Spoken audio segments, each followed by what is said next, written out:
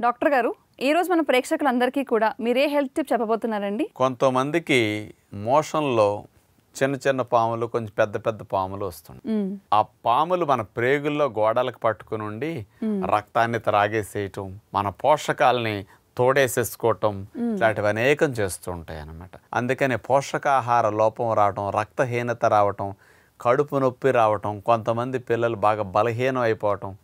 ఇలాంటి జరుగుతూ ఉంటుంది. ఓకే. ఇలాంటి సందర్భాల్లో ఆ పాములు పోయేటట్టు చేసుకోవాలి అంటే వేపాకు దోసెడు తీసుకోండి. రెండు లీటర్ల నీళ్ళల్లో వేసేసి మరిగించండి. ఒక అరగంట మరిగేసరికి ఆ నీళ్ళు ఆకుపచ్చగా అవుతాయి. గోరెచ్చగా చల్లార్చండి. చల్లారాక వడకట్టి తుక్కు తీసేసి ఆకుపచ్చ నీళ్ళు ఎనుమ డబ్బాలో పోసి ఆ నీళ్ళని ఎనుమ చేసుకోవాలి.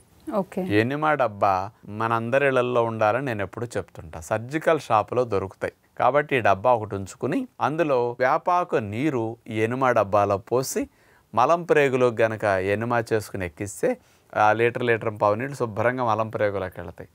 ఆ వేపాకు చేదు ఇరిటేషన్ కలిగించే నీళ్ళకి మలం ప్రేగులో పాములు పురుగులవి ఆ ఇరిటేషన్ గిలగిల కొట్టుకుంటూ ఆ నీళ్ళ ద్వారా మలం ద్వారా బయటకు వచ్చేస్తాయి అనమాట. వేపకుండే ఔషధ గుణాలు అట్లాంటివి. అంచేత ఈ వేపాకు నీరు ఎనుమ అనేది ప్రేగుల్లో పాములు శుద్ధి చేసుకోవడానికి చక్కగా ఉపయోగపడుతుంది. ఇలాంటి ఎనుమని ఒక నాలుగైదు రోజులు రోజుకొకసారి చొప్పున వేపాకు వాటర్ ఎనుమ చేసుకుంటే ప్రేగుల్లో ఉన్న పాముల పురుగులు శుభ్రంగా బయటకు పోతాయి.